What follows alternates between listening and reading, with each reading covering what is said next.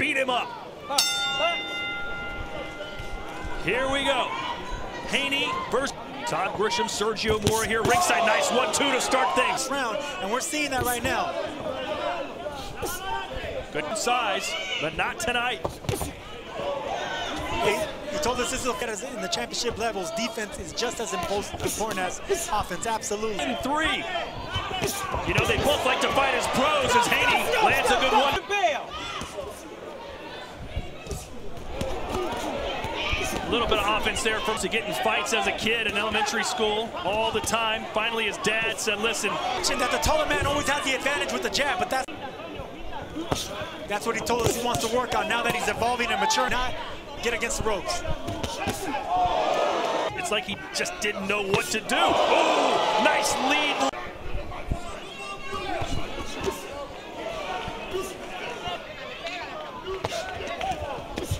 Beautiful body shot there by Devin Haney. Oh, another nice. Toluca, which is Mexico's fourth highest peak. I mentioned Haney's amateur success. Moran, no slack.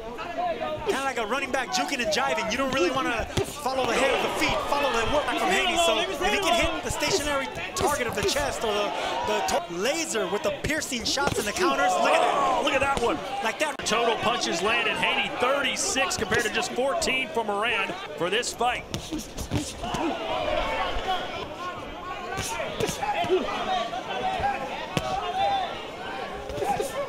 There's a counter shot just waiting to happen. Just like that right there. Good body shot. No, not yet. But uh, the last one was a good round for him. Whoa, and a body shot sends Moran down. Stepped on Moran's feet there. Definitely a solid punch that landed downstairs, but if you notice in the replay, they sent saliva sending out of the ring. Boy, Moran's getting those hands lower and lower, Sergio. We are watching a potential future superstar here. And right there, he threw it to the chest. And he said he wanted to work on that with the sneaky body shots. This is impressive stuff on Devin Haney's part. I mean Moran coming in, the taller six-foot Moran, and he's getting out jabbed by the shorter Devin. The body shot in the last round. Oh, there's a power jab. Uh, when your opponent's coming in with his own momentum. There was a power left hook for Devin Haney. Kind of like Floyd Mayweather caught uh, Daryl Morales. I mean, I'm sorry, Corrales. And now Haney's got that fire in his eyes. A one-hitter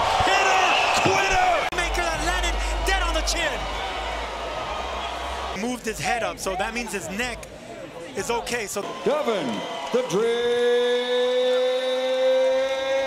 Haney. That was the special thing he promised us tonight.